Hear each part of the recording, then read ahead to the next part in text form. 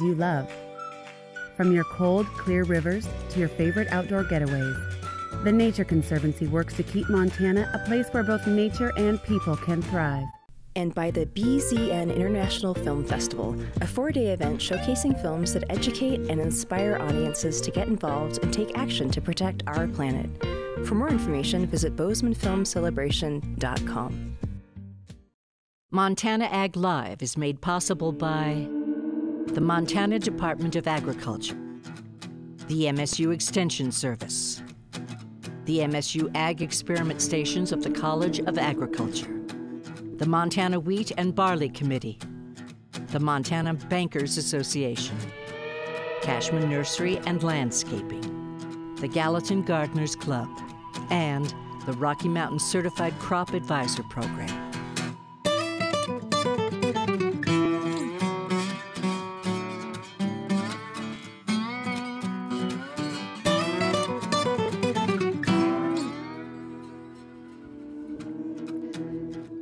Good evening and welcome to Montana Ag Live, brought to you from the PBS studios at Montana State University.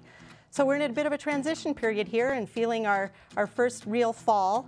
Um, so it's going to be interesting to see some of the topics that uh, we'll discuss tonight. And um, tonight I have Jane Mangold, weed science specialist here um, at MSU, and so she'll be here to answer any weed questions. And um, it's actually very fortuitous now that the weather is getting cold because we're going to be talking about sheep and wool tonight and the meat to, you know, and the calories to warm us up and also the wool to keep us warm. So we have Leah Johnson, who's the executive secretary of the Montana Wool Growers Association. And with her to kind of um, accompany her and, and enhance everything sheep and wool is Brent Roeder, who is an extension specialist in the ag um, in the Animal and Range Science Department, and so he's also um, going to have great information uh, about you know producing sheep and the sheep industry in Montana. And Mac Burgess, uh, who is in our plant sciences department, he is the small ag um, person and small farm specialist at MSU, and so he's here tonight to answer horticultural questions. Um, I'm Nina Zidack. I am the director of the Montana Seed Potato um, Association. So if you have any questions about potatoes or also vegetables and horticulture, I might be able to chip in on those too. So, um, so at this point, I'd like to go to Leah. And Leah, um, if you could talk with us just a little bit about, um, you know, your your position with the wool growers and um, the Wool Growers Association in Montana and, and what they're all about. Sure.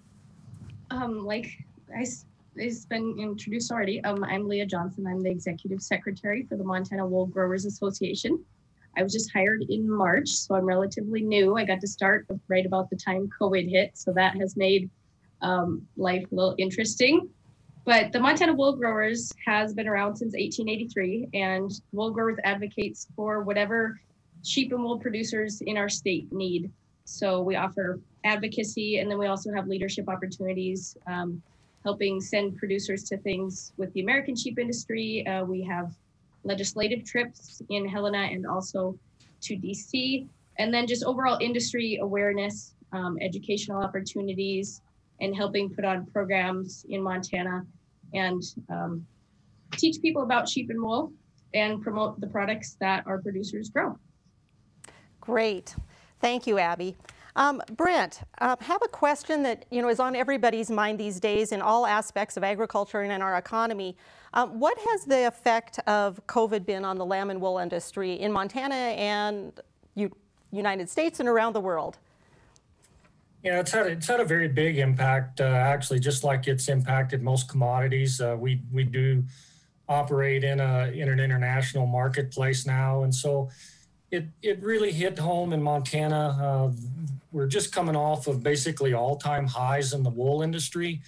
Um, probably the the late winter of 2019, we started to see some declines. Uh, in China, there was uh, some dispute uh, trade differences with China, and that started to play a role in it. And then when COVID uh, hit in China in, in late fall last year, they shut their factories down, and a big percentage of the wool that's processed in the world is currently processed in China. So the factory shut down. Uh, then the factories reopened about the time that uh, we started shutting down because of uh, COVID restrictions in, in Europe and America. And with that, everybody, just like we're doing tonight, is, is on a Zoom meeting. And so nobody has to buy a really high end, really nice looking suit or business apparel.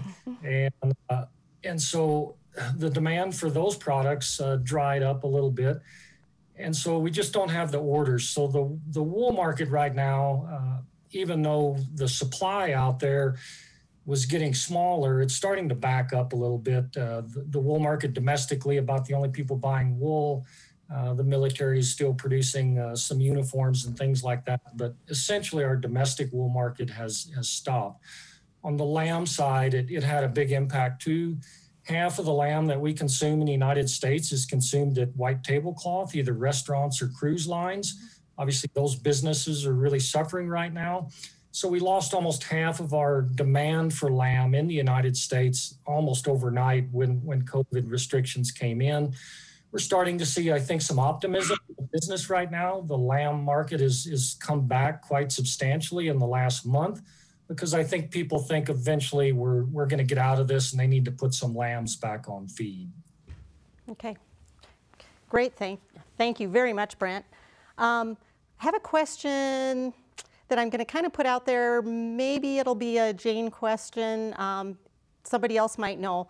Um, is poison, and this came in from Belt, is poison hemlock still poisonous to animals after it's died in the fall? Yes, I'm pretty sure it retains its uh, toxicity even when it's dried. So that can be an issue, uh, particularly if it gets baled into some mm-hmm. hay, it does retain that toxicity. Okay, thank you. So, Mac, another question from Belt. Um, this actually came in last week. Um, can you use treated lumber for raised beds for growing flowers, vegetables, that type of thing? You don't need to uh, I'll start there.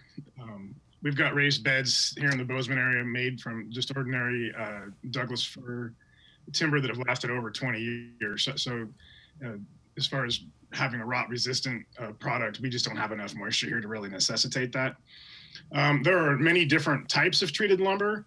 I, I, would suggest not to use them for a, a garden raised bed, but I, I, wouldn't panic and go out and, and remove it if you've got one already. Uh, to do not be consistent with certified organic production standards. So that's a, a no-no there if you if you seek certified organic uh, status.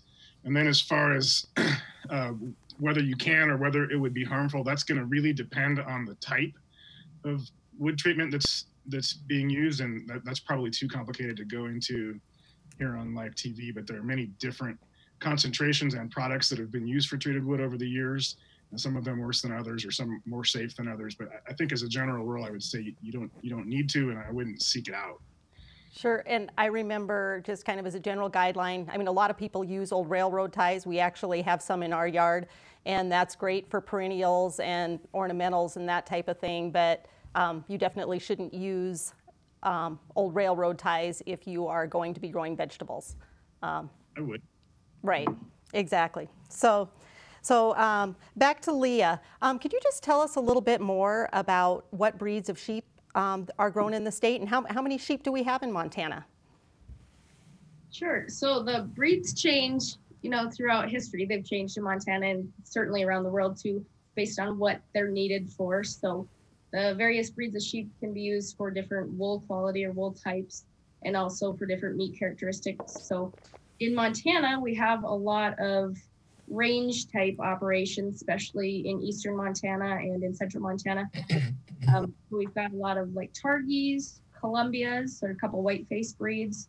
And then as far as uh, black face breeds, where they have black, you know, dark faces and dark legs, we have Suffolk, um, Hampshire, and there's lots of other breeds, especially as you get into western Montana, into more um, farm flock type uh, production, you see more of like Icelandics, Border Leicesters, um, specialty breeds with different fleeces for hand spinners and things like that. And Brent can probably comment on this too more. Yes, and I just want to follow it up with another question that just came in from Laurel. Uh, the person is asking, is the Make It With Wool contest going on this year? Yes, that is part of our annual convention in our Montana Wool Growers Convention. It is supposed to be held in Billings. As most of you know, um, some new restrictions are going to be put in um, Yellowstone County due to their COVID numbers. So we're going to have to look at exactly how that's going to pan out for us if we're going to have to change venue or locations. And that will be announced as time goes on and we get together with the board and figure that out. But yes, the Make It With Wool contest is um, spotlighted during our convention, and the uh, regional Make It With Wool contests will happen in October. And you can find all of that information on our website at mtsheep.org. Amanda Powell, who runs the Make It With Wool program, um, has a great write up on there with all the details. So if you're wanting to participate or you're wanting to watch or, or help in some way, all of that information is there. Great. Thank you, Leah. And uh, at this point, I'll follow up uh, with, with Brent. Um, what are the trends in the wool industry these days? So there's been a quite a resurgence. Um, like I said, we're coming off of our highs uh, recently in the 2017, 2018 timeframe. Some of that's because the, I mean, a lot of people remember the maybe a wool sweater that your grandmother had, really itchy wool sweater. Wool the, the wool processing and wool genetics have evolved substantially. And I think Australia kind of led that um, led that shift with their merino breed. Uh, we have some of that genetics now in the United States, but also because of a lot of work done at the, the wool lab at Montana State University and through some genetics programs and good breeding by the by the great producers that we have here in this state, we we have wool on a, that's on a comparable level with the merino wool that comes out of Australia. So that wool you can wear next to skin now. We have several companies that are based here in Montana that, that produce a really high end athletic wear that's next to skin. It can absorb 40% of its weight in water and still uh, retain heat. Uh, it's recyclable, renewable. One of the things that we're learning about as we move forward, Prince Charles in, in England has a what he calls the campaign for wool, and he's basically trying to highlight some of the positive attributes of wool production and uh, one of the things that a lot of the research over there came out with is that a lot of our man made polyester type fabrics are substantially contributing to the microplastic contamination on our waterways, which is starting to be, I mean, a lot of people are starting to realize it's at the major contaminant of our fresh water moving forward. So we see a lot of emphasis now. We're getting a lot of interest at the Wool Lab and in, in, in trying to figure out how to use a hemp wool blend uh, there's a lot of cotton wool blends. And so with that, we've also seen a real severe decline in sheep numbers in Australia uh, and New Zealand also because of drought conditions and other economic factors. So while we were seeing an increase in consumer demand for wool because of its uh, environmental attributes and the quality of it, we were also seeing a decrease in the production of that really high quality wool. And so that's why we had that big price spike uh, in 2017 and 2018. And it, the wool will come back. Um, I just encourage all the producers that are out there listening. We had a fantastic sale in Miles City in September, really highlighted the producers are still looking for those high quality, extremely uh, good wool bucks that are out there. Uh, and, and so I, wool's going to come back in a year or two. It's, we just need to get through uh, our current uh, issues right now worldwide. So, Leah or Brent, I have a follow up question. If you were, do you raise a different breed of sheep, whether you're raising it for for meat or wool? Yeah. So. So there's several different. We break the breeds of sheep into into wool breeds like merino, um, would be primarily a wool breed. They they do produce lambs out of them, but their lamb production is is so wool and lamb production tend to be antagonistic, meaning that they work against each other. Uh, and then we have the medium wool breeds that do a fantastic job of raising high quality lamb here in Montana, the, the Hamps, the Suffolks, uh, those type breeds, the Shropshires. A lot of what we produce in Montana are what we call dual purpose breeds. And so those would be breeds like Targhee, Columbia, Rambouillet, uh, those are breeds that produce a, a fairly fine type of wool that we can still use for uh, mid layer and in some cases next to skin. Uh, base layer type products, but they also are, are very good at producing lamb. And so that's kind of what we tend to call a dual purpose breed. You get you get two paychecks a year, you get a good wool paycheck in the spring, and you get a good lamb paycheck in the fall. Thank you. Yes, thank you, Brent. So I have a question on potatoes that came in from Hamilton. Um, when they harvest their red Potomac potatoes, they are hollow in the middle and a layer of dark middle around the hollow area. What's wrong? Well, you've asked it exactly right. It's hollow heart. That's the name of the disorder. And it's a physiologic disorder, and it usually occurs um, when there's probably just a little bit um, of a disruption during the growing season. The plant's growing really, really, really fast, and then um, you might get a little bit of fluctuation in moisture or something like that that, that affects um, how fast the plant is growing. So there's absolutely nothing wrong with it. Um, some varieties are more susceptible to getting hollow heart. Um, basically, just cut down the middle of your potato and and peel out that, that part of the potato, but it actually, it shouldn't affect how your potatoes um, store and it won't affect quality except for, you know, baking if you wanted to use the whole potato. It sounds like you could stuff some cheese or something in there. exactly, exactly. A great place for cheese. Yeah. so, uh, Mac, uh, this is a question that came in over Facebook. Uh, my attempts at growing winter squash have never produced much flavor. Why is that? Well, we could have a whole special segment on this topic, Nina, about winter squash. The short answer is probably you need to wait a little while before you eat them. So, uh, winter squash, uh, we'll have to pick them before we have a heavy frost. We picked ours here in Bozeman before our September 7th frost and many of them are described as, as being um, best eaten after at least a, a, month of storage and maybe as much as three to five months of storage indoors. They're going to get better with storage time. So maybe you were just in a too big of a hurry to eat them. Uh, the other thing is variety selection, and there's a, a whole bunch of, of, really cool squashes of, of th- things you don't see in the stores.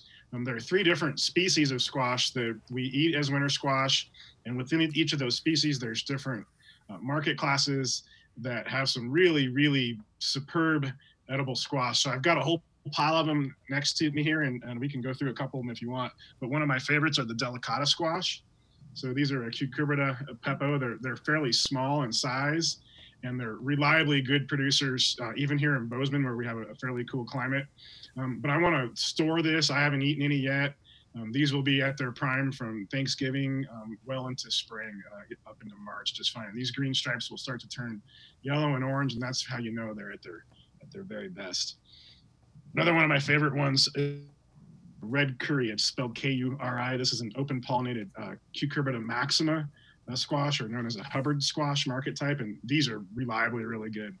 I guess the other thing I would think about if you're choosing a variety from the seed catalog is choose ones with a, a little bit shorter um, days to maturity rating, we have a hard time ripening butternuts well here, and just there's just not very many that are that are less than 105 days to maturity. And I've got much more them to show you if we have time. So, so I'll actually chime on in on that a little bit, Mac, because growing winter squash, like in the Gallatin at a higher elevation, can be a little bit challenging. And what I found was for many years, I harvested a lot of squash that really didn't have the best flavor and it didn't have that real dry kind of fluffy texture um, when you mashed it that you know is enhanced by butter and cream. Um, but since we've started using floating row covers on our um, squash in the spring, I actually start out with transplants and then use floating row covers until about the 1st of July, uh, depending on the season. But for a significant amount of time, that really protects the squash and gets them established much better. And I think just overall, um, they, they're, you know, by the time we actually hit the heat of the summer, they're really, really rearing and ready to go. And um, I've just had much better maturity and better quality since I started doing that. And then those floating row covers go back on in the fall, so so that you can get another couple weeks. Absolutely right, Nina. Those uh, all those regular season extension tricks do help a bit and, and will help you get into some of those squashes that, that wouldn't be as, as readily uh, grown here. So, you know, doing transplants and getting them in, I want to say the end of May, early June. And mm-hmm. then here again, as usual, we had a, a, a near uh, close miss with a frost on June 12th, as we often do here in the Gallatin Valley. And so you needed to have those covered up uh, that night. And, and that's been the case the last couple of years. It would have helped you to have your squash covered up on, on June 12th. But you do need to get them in early. Transplants help. Everything you can do to to keep that heat retained, to have warm soil will help have a higher yield. And then you got to remember to take those row covers off though, because they are pollinated by bees and the, the male and female flowers are separate. And sometimes squash plants will, if they're under stress, produce more male flowers and produce male flowers exclusively at first. So uh, when you start seeing flowers, make sure they've got adequate water and are experiencing uh, ideal temperatures. But then you've got to let the bees in as soon as you see female flowers. Great. Thank you, Mac. Like you said, we could talk about squash all day. so let's talk about weeds with Jane. Um, they have plantain in their lawn. It's a Kentucky bluegrass lawn. It's not going away. They've tried 2,4-D weed killer on the plant. It does not kill the weed. Is there another type of herbicide that is better for plantain? Um, yeah, there's a few different things you could use. Well, well, first I would encourage the caller just think about the timing of that application. It could have been that it was a little late. Uh, 2,4-D with a lot of species, if you don't get that on when the plant's relatively small, it might not be as effective.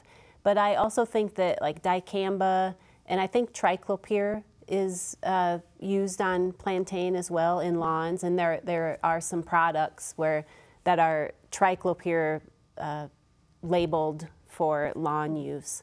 And then the other thing I would just encourage the caller to, to or viewer to think about is keeping that lawn healthy. You know, watering it at the right time fertilizing it at the right time. A healthy lawn does a lot to keep the weeds out. Mm -hmm. And I think too, you can, uh, you can. Um, I think plantain has a taproot. So if you don't have a lot of plants, you could just probably pop them out of the ground mm -hmm. when the ground is nice and soft. And that brings me to dandelions. Now that we've had a frost and it's cooling off, is it too late to treat dandelions in the yard right now? You know, I think if we get a little more, some warm weather again, uh, it might be a good time because we've had a little bit of moisture come through this weekend, which mm -hmm. sometimes prompts the, the dandelions to grow. Um, but I would say if, if it's not getting, if we don't get back into the 60s for a couple hours each afternoon, it's mm -hmm. probably getting a little late and probably better to wait till spring. Good, because I had a few that I was kind of looking at, wondering. You can just forget about it. just forget about until next year. That's right. Okay, that sounds great. Um, for uh, Leah, um, we have a call from Bozeman, um, and Brent can chime in on this too. Um, has anything been done at the federal level to ensure that unrestricted lamb or trade in lamb from the UK does not further jeopardize Montana's lamb industry? I know that it has been a concern and it's definitely been brought up. I don't know specifically. Brent maybe has more info, information on that. Yeah, I know our congressional delegation has has been made aware of that. Um, it, it, did show up in a in a news report that that Australia was basically, I think, going to try and help the UK send some lamb into the US. So what, what the situation basically is, is that um, the UK, obviously, hopefully everybody's aware of the Brexit deal where the UK is, has basically voted to pull out of the EU. That has a lot of extremely severe ramifications for their reciprocal trade agreements, and they have not been able to renegotiate those in a timely manner. So most people also don't realize that the UK currently has more lambs than New Zealand. Most people think of New Zealand as having more sheep than anybody in the world just because of their good ad campaign. New Zealand currently has about 24, 25 million head of sheep. The UK currently has about 35 million head of sheep. And they export up to a third of those lambs into the European Union. And so the, the talk that was coming in through the news wires uh, several months ago was well, we're not too worried about if we don't get a trade deal on the lamb side with the EU because we'll just basically take it to the US because they have a free and open market. And so that obviously uh, raised some alarm bells here in the United States with our industry leaders, and they passed those concerns up to our congressional staffers who've all been very, uh, very good about uh, keeping an eye on the situation. So, okay. And just kind of a follow-up question to that. um, like with both New Zealand and the UK and other sources. Um, for meat especially, how do you ensure that you're actually going to get Montana or US lamb um, rather than from New Zealand or the UK? Can be a little harder to find, but your best bets are specialty grocery stores and any farmers markets or farm to table type um, co-ops. And then we are putting together, Wool Growers is putting together um, lists of where you can buy lamb in Montana. So you can buy from maybe you have a neighbor that you didn't know raises out some lambs and you can get one directly from them or something like that. So that will help people to find local lamb too. And just a another aside um, on that, uh, this year we actually had the or last year we had the opportunity to buy lamb from just a local producer that produces some for the regular market, but also for 4-H lambs. And this year, the 4-H lamb market was really down because even though they had um, a lot of the um, the um, animal production um, projects with 4-H, um, the numbers were definitely down. So a lot of the animals um, were going to that purpose. So this year we were definitely insured of being able to get a lamb. And like I said, last year was the first time that we did, and it was a wonderful, wonderful thing. So we we've enjoyed it a lot. Good. Yes, the 4-H lambs are a great place to buy from any of your local county fairs. And the flip side to that is lambs don't really like to be alone. So usually, if a 4-H member is raising a lamb, they usually have one or more at home as companion lambs or little company buddies. Um, and so they're usually looking to find a freezer for that one too. Great. Okay. Thank you, Leah. Um, for Mac, you know, we talked earlier about how we could talk about squash all day. Uh, there's a question from Bozeman. What is the best way to store squash in your home if you can't use it right away? Uh, depending on your objective, um, in a bin on the floor in the kitchen is just fine. It, will keep for a, a, couple months. If you want to have it keep longer, a cooler uh, environment than room temperature would be better. So maybe in your basement. At my house, I have a insulated but unheated garage that shares a wall with my home, and so it, it, it rarely freezes in there, but it, it's definitely much cooler than it is anywhere in the house.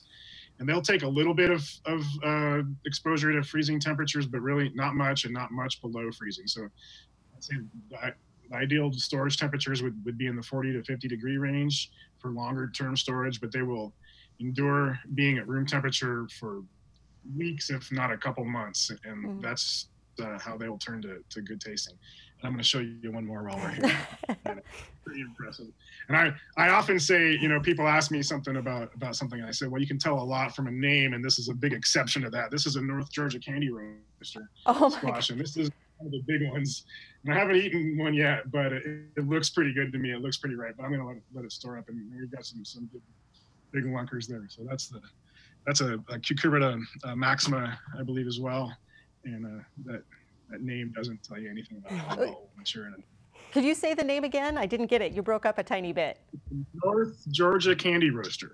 North Georgia Candy Roaster. I'll have to look for well, look for that one. Far north Georgia, it did okay. So that sounds that sounds great. We're going to have to have to get that on the list.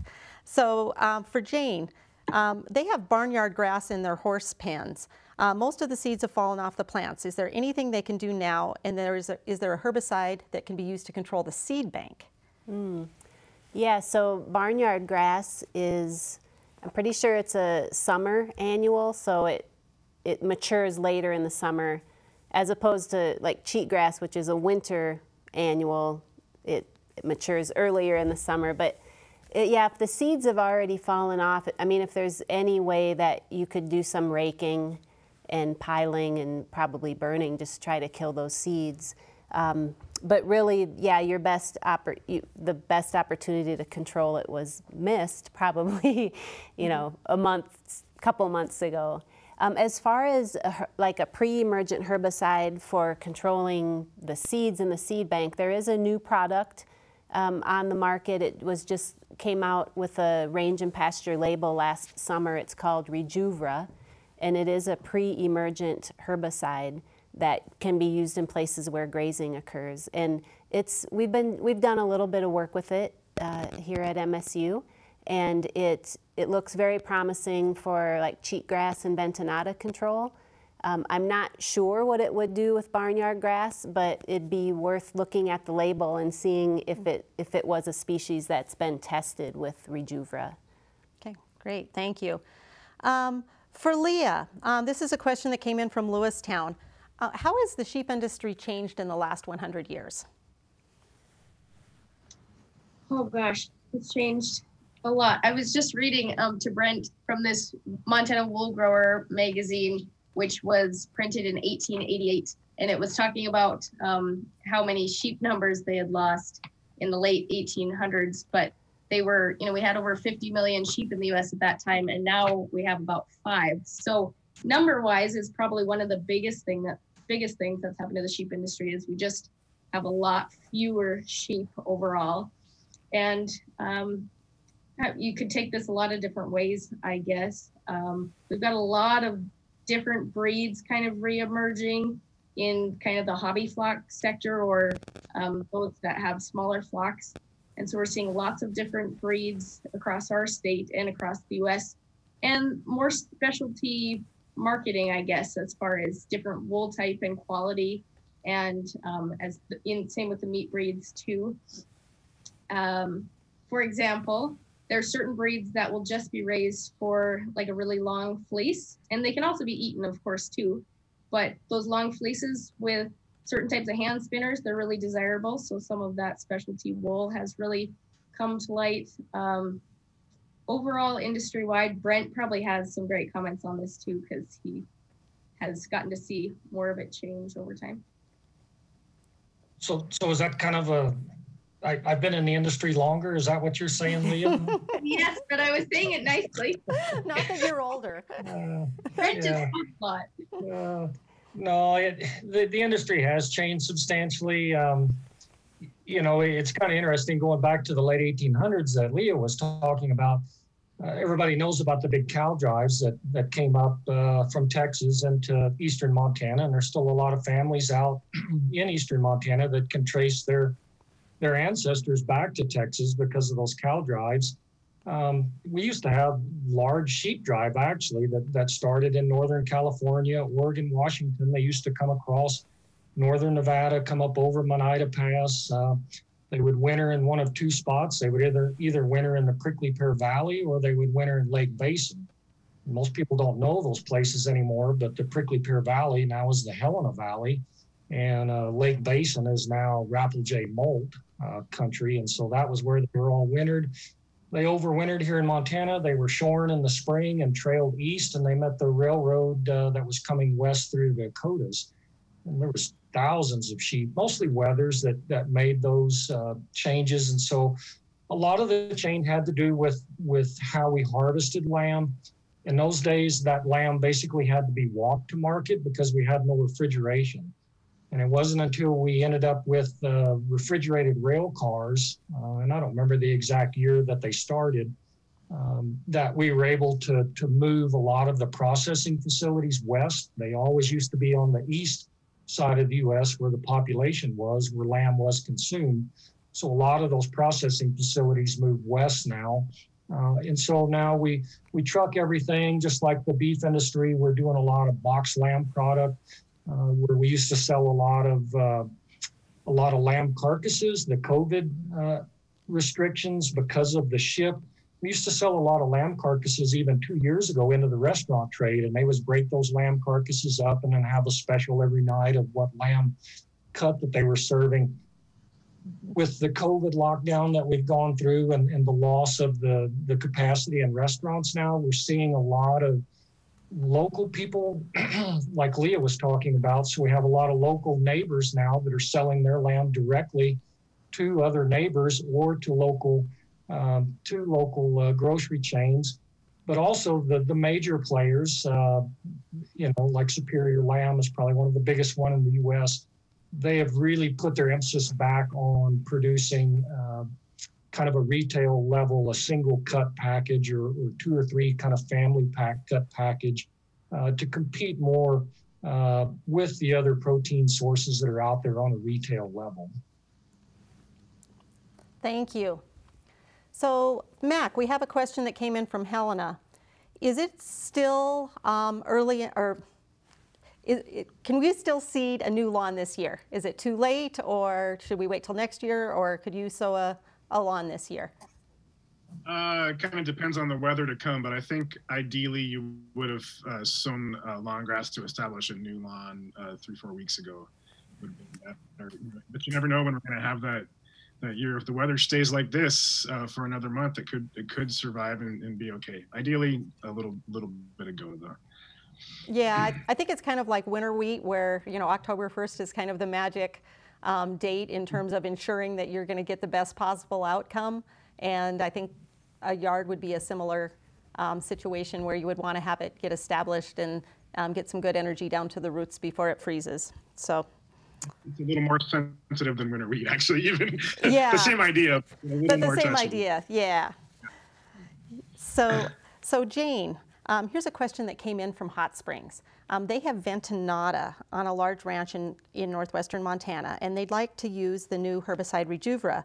But they're wondering, is there any benefit of tank mixing it with Plateau, which they've used in the lot a lot in the past, to control those weeds? Yeah, so I, I think the last question I talked about Rejuvra a little bit. It's a pre-emergent herbicide, so it works best when you when you apply it before the seeds of ventenata or cheatgrass or another annual. If you you have it in the soil before the plant germinates. Um, if you miss that opportunity and the, the ventenata or the cheatgrass has emerged, then there would be some benefit of adding plateau mm-hmm. because that's a it works on the foliage, it's post-emergent. What's kind of interesting about this fall is that it's been extremely dry.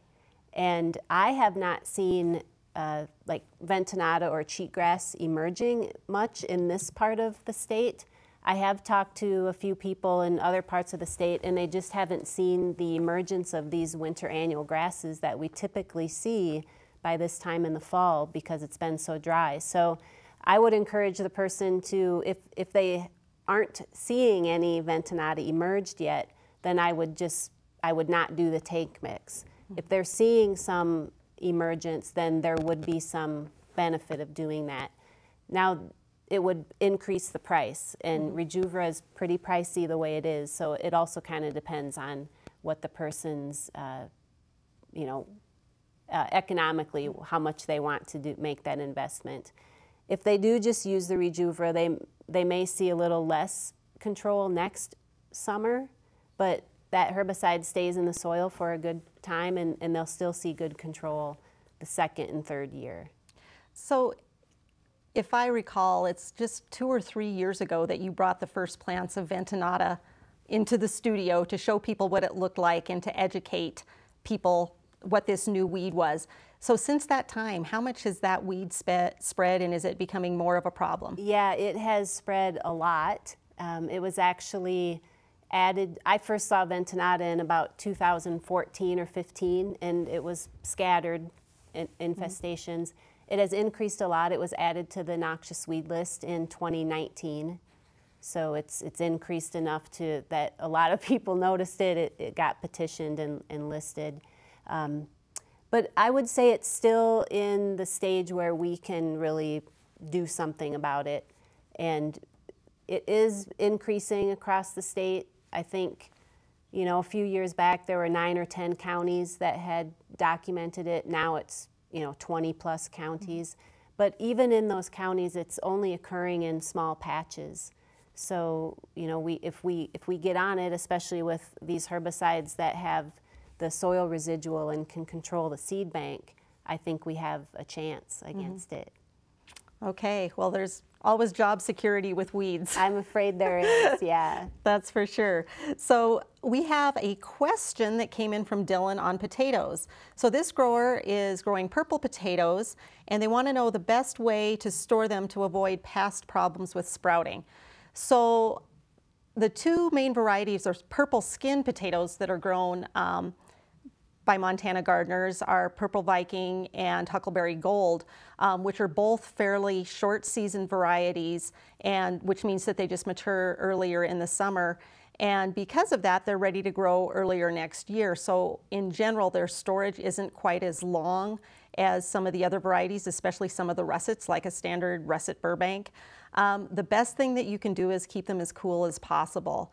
Um, if, you, if you have the opportunity to keep them at 45 to 50 degrees, um, that's really optimal for storing potatoes.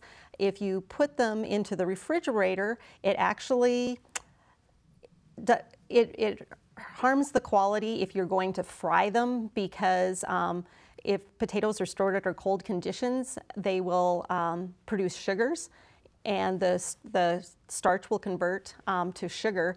And then when you fry them, they'll get to be dark brown. Some people actually like that and prefer that. I actually kind of like a brown French fry, but, uh, but some people um, definitely don't like that. And they also will have just a little bit sweeter flavor. So um, in general, it's not recommended to store them in the refrigerator, but if you don't mind that extra little bit of browning, that will help keep them from sprouting. But, but um, aside from that, as cool as possible. So Okay, um, moving back to sheep. Um, so in Australia, and either Leah or Brent can answer this, um, they market a type of meat called hogget, which is older than lamb but younger than mutton. Is this something that is a product in the U.S.? Does do either of you know anything about that?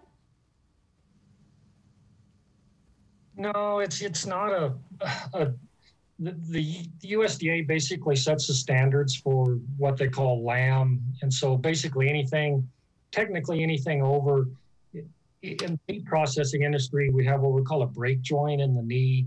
It's a very technical way of determining if something is lamb or mutton.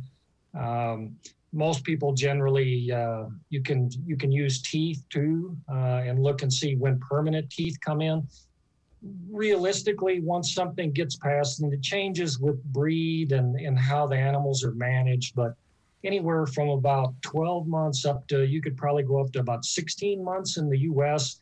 Um, somewhere in there, you're going to have that break between what's considered a lamb product and what's considered a mutton product. Australia, they have another definition called a hogget. Hogget is a technical term. Most people in the livestock industry would know it as a yearling. And so basically, they say anything that uh, from birth to one year of age is a lamb, and then from one year of age to two years of age is a hogget, and then anything from two years uh, and older would be considered mutton. And the mutton trade actually is quite interesting. They, the mutton trade in Australia, has they have been sending a lot of mutton to uh, to China because uh, if you know anything about the COVID 19 is not the only viral pandemic going through the world affecting agriculture. We also have, have African swine fever, which is making its rounds, has really decimated the pork population in China. Uh, and they are heavily dependent on that pork supply domestically in China. And with that reduction in pork available domestically, they have been sourcing a lot of their protein both out of Australia and New Zealand, and they've been buying a lot of mutton uh, out of Australia and New Zealand, mostly out of Australia. Okay, thank you, Brent. Um, yep. Leah, um, how and when are sheep sheared, and is the shearing process is that something that hurts them? I'll speak briefly on this, and then Brent can talk about it too, since he is indeed a shearer himself. But um, sheep are shorn different times of the year depending on what we're getting ready for. So this time of year, um, they might be getting what we call either tagging or tag an eye, and they will be basically getting trimmed around their face and then around their hind end. And it's preparing them for breeding season, and it also helps to keep their face open so that they can see predators more readily and they don't get wool growing too close to their eyes.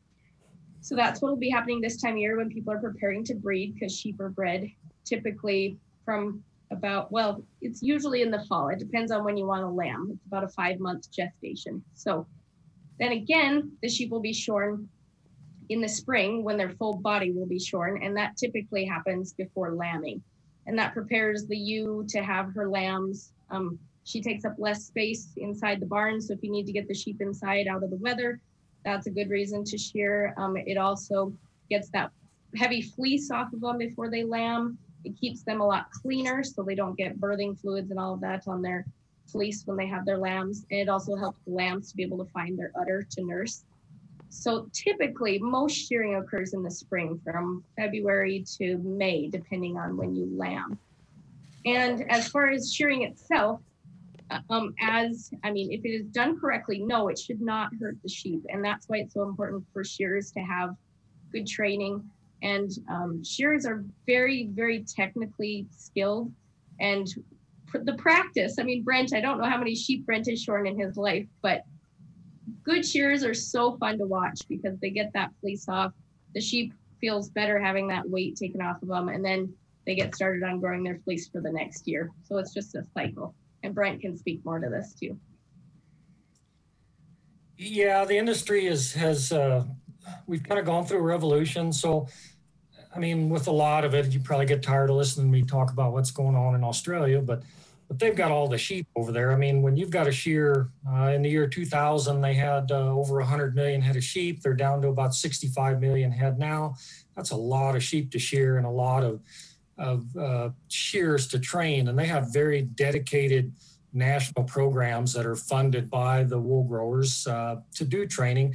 So we've copied some of that over here. We, uh, pre COVID, uh, the last couple of years, we've brought one of their trained instructors over. There are um, several main shearing uh, contractors in Montana that help us, along with Montana wool growers, bring these individuals over.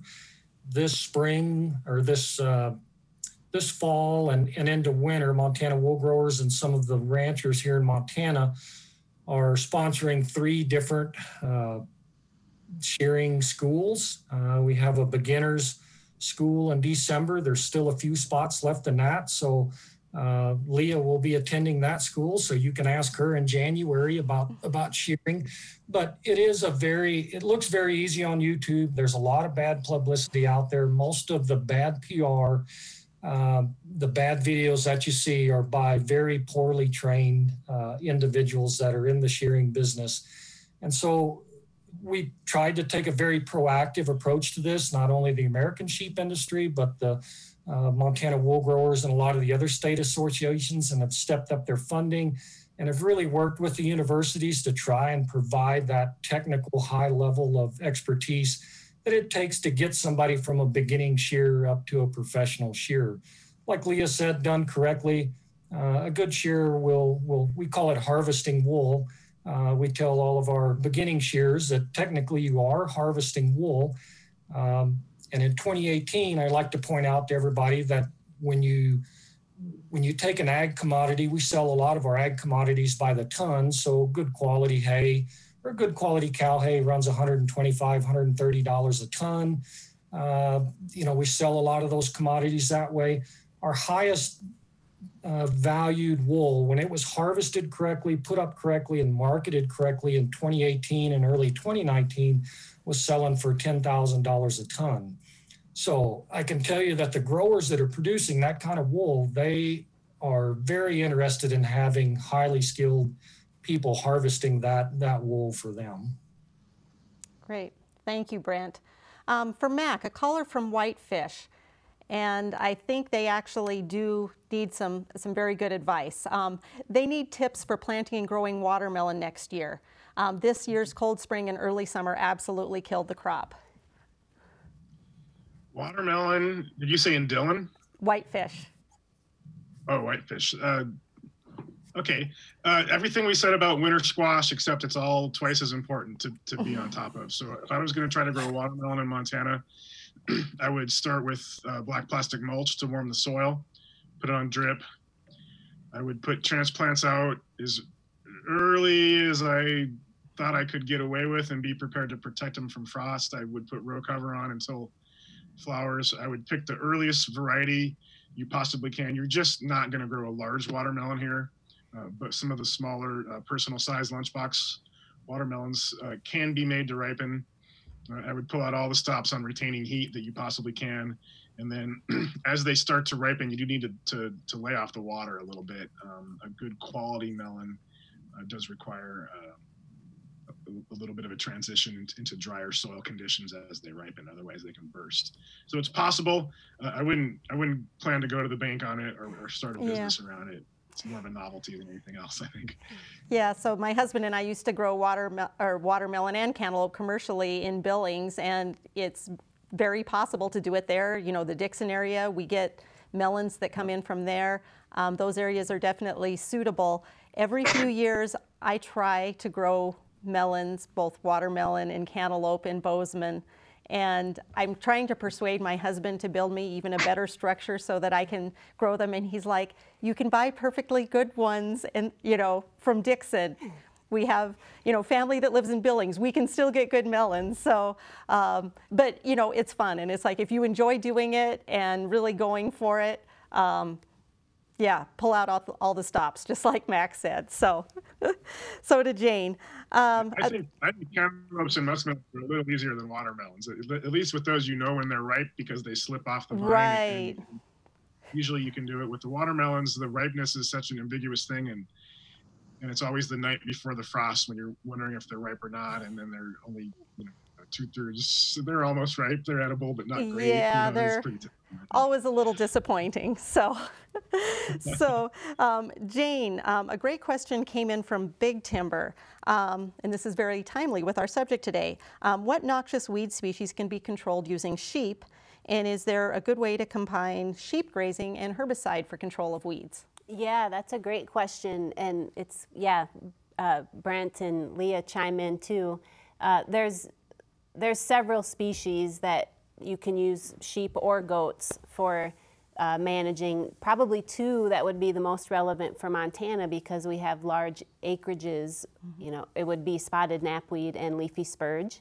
And there's also been a lot of research done on um, the best timing and the best way to do this so that the the plant, the weed is controlled, but also you know the health of the the livestock is recognized. There's also a publication that University of Idaho put out quite a few years ago now that talks about targeted grazing and it has prescriptions for target grazing several different noxious weeds. In terms of uh, combining like targeted grazing and herbicides, I know like with leafy spurge, one of the things you can do is you can use the sheep to graze that throughout the summer, um, pull them off in late summer, you know, August or so, let the spurge regrow three or four inches and then do a fall herbicide application. So there's different, you could, you could use sheep to graze the bulk of an infestation, but perhaps maybe spray around the edge to keep it from spreading.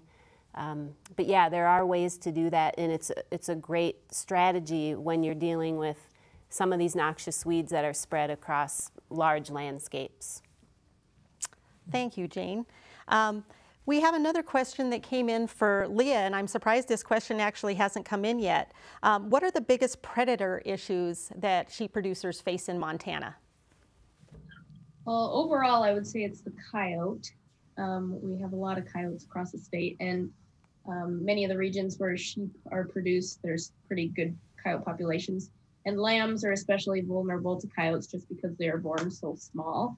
So that is definitely something that sheep producers put a lot of time and effort into um, trying to keep those lambs safe all through the summer and even into the fall. I've lost 100 pound lambs to coyotes before. They're, you know, if they're hungry enough, they they get pretty aggressive. So, um, and then additionally, you know, depending on where you live in the state, Southwest Montana and the Rocky Mountain front, of course, they've got grizzly bear issues and then you know mountain lions uh, sheep are especially when they're young um, are fairly vulnerable even to uh, big predator birds. So brent do you have anything to add there?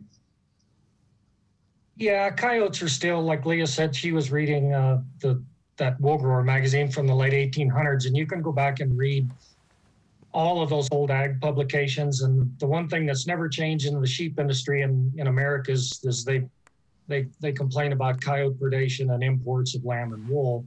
It's just something that's been in our industry for a long time. Um, it's something we're struggling with anymore because as sheep numbers decrease, as the number of operations that have sheep decrease, we're, we're starting to see kind of islands of sheep left in the state. So areas uh, you know, in the Dillon country and out like in the flowing wells on the Little Dry and, and in the Judith Gap country where they do, say in that Garneill country where they have a lot of spurge where they need sheep to control the spurge so they can run cows. Um, we're starting to see islands kind of like that. And so those, those producers try to work together. Um, there's been a lot of shifts in how we try to manage predators. I think the emphasis moving forward a lot of it has gone to non lethal mitigation of predators. So we're starting to see a lot more guard dogs out there, which creates a lot of issues. Uh, you know, those dogs, they, they tend to be a little territorial. We're starting to learn how to keep those dogs closer in with the sheep. Uh, it, it gets to be an issue on days, uh, weekends like this weekend when it was opening weekend of pheasant season. So now we're introducing a, a lot of new dogs out onto uh, places where they haven't been uh, and have never been around livestock. And so, what I would tell people, since it is pheasant season and we're going to have a lot of hunters out there, if you uh, come across one of these guard dogs, a lot of people are really they're very intimidated by them. Most of these dogs are uh, they put up put on a good show for humans, so they'll maybe uh, come at you maybe in a in a little bit of an aggressive manner. They're there to protect their thank sheep. Thank you, Brent. We're just about done here. So okay, thank I'll you. wrap it up. But but the one thing you need to remember is don't run from them. They they when you stand your ground, they will get about five feet from you and they'll stop and wag their tail and they're happy to see you. So okay, tune in next week for a show on canola production.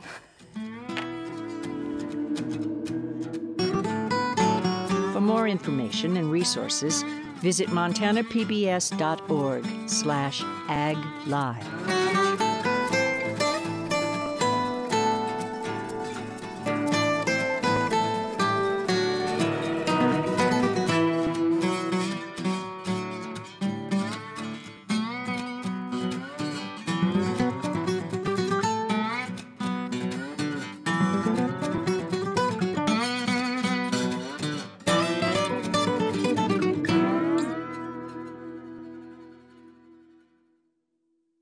Montana Ag Live is made possible by the Montana Department of Agriculture, the MSU Extension Service, the MSU Ag Experiment Stations of the College of Agriculture, the Montana Wheat and Barley Committee,